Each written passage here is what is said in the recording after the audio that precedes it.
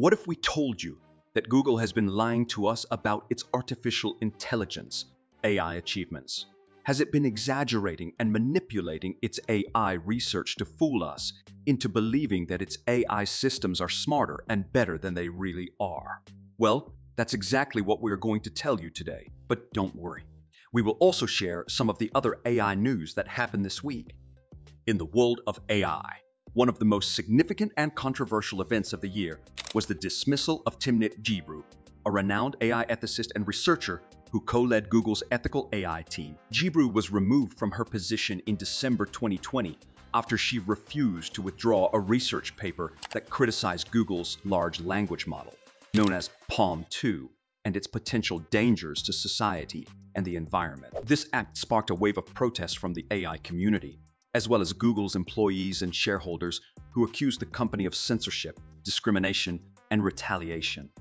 The incident exposed the lack of diversity, transparency, and accountability in Google's AI research and development.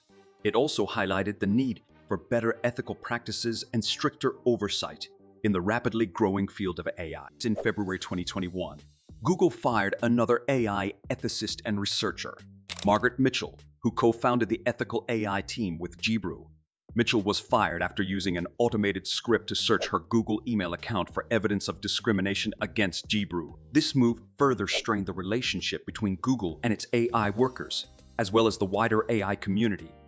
In an attempt to address the criticism and the pressure caused by the AI ethics scandal, Google announced a series of changes to its AI research and review policies in April 2021 the company stated that it would establish a new AI Research Review Board, a new AI Research Integrity Office, and a new AI Research Publication Portal to enhance the quality, oversight, and transparency of its AI research. However, many people were left unsatisfied with Google's actions and questioned the sincerity and effectiveness of its reforms. To counter the unethical and harmful practices of Google and other AI companies, some former and current members of the ethical AI team, as well as other AI experts and activists, established a new initiative called Whistleblower AI. This initiative aims to expose and challenge any unethical or harmful practices in the field of AI and promote better ethical standards and practices. In recent times, the disclosure of Google's self-driving car project, named Waymo, has stirred up a lot of controversy and public outrage.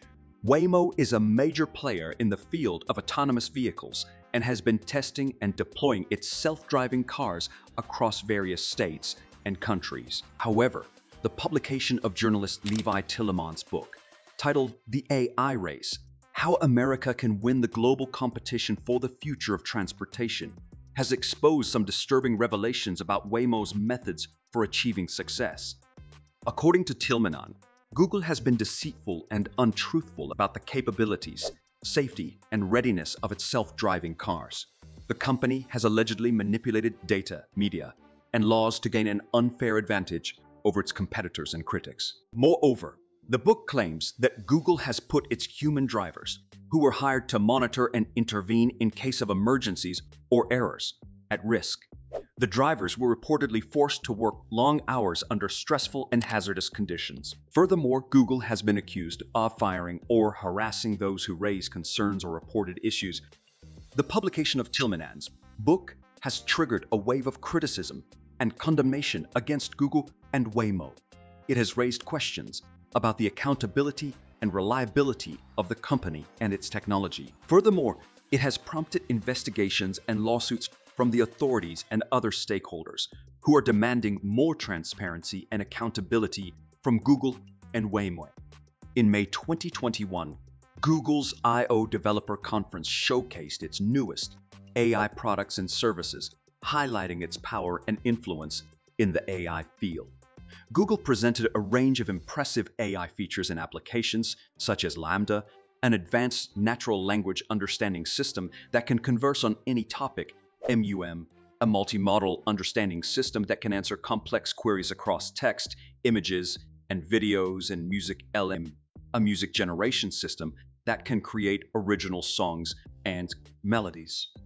In addition to its new AI innovations, Google also announced several updates and improvements to its existing AI products and services, including Google Photos, Google Maps, Google Assistant, Google Lens, and Google Workspace. The company claimed that its AI technologies could enhance user experience, productivity, and creativity and help address some of the world's social and environmental challenges.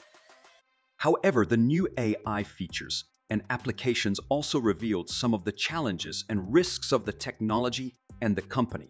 Some critics expressed concerns about the reliability, accuracy, and ethics of the LaMDA and Music LM systems and their potential negative impacts on society and culture.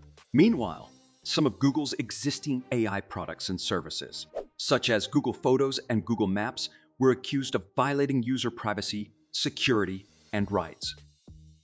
Google's AI domination also raised concerns and fears about the company's monopoly and hegemony in the AI industry. Critics warned about the lack of diversity, competition, and regulation in the AI field and the potential threat to human autonomy, dignity, and well-being. As a result, many people called for more oversight, accountability, and resistance from the public and policymakers. The following stories also highlighted various recent AI-related news stories that have caught the attention of many. While Google has been a significant contributor to the AI field, other companies are making headlines as well.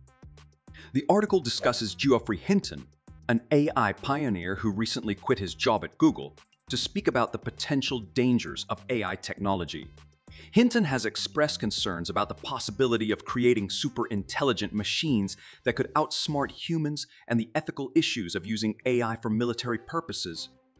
Meta, the company formerly known as Facebook, has announced an AI sandbox for advertisers, which helps them create alternative APIs, generate backgrounds through text prompts, and crop images for Facebook or Instagram ads. The AI sandbox is part of Meta's Creative Studio, a platform that enables advertisers to design, test, and optimize their ads across Meta's apps and services.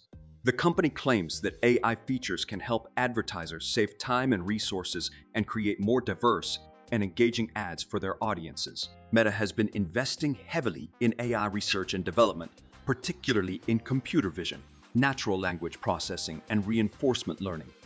Facebook AI Research has introduced a new dataset and challenge for natural language understanding called DynaBench.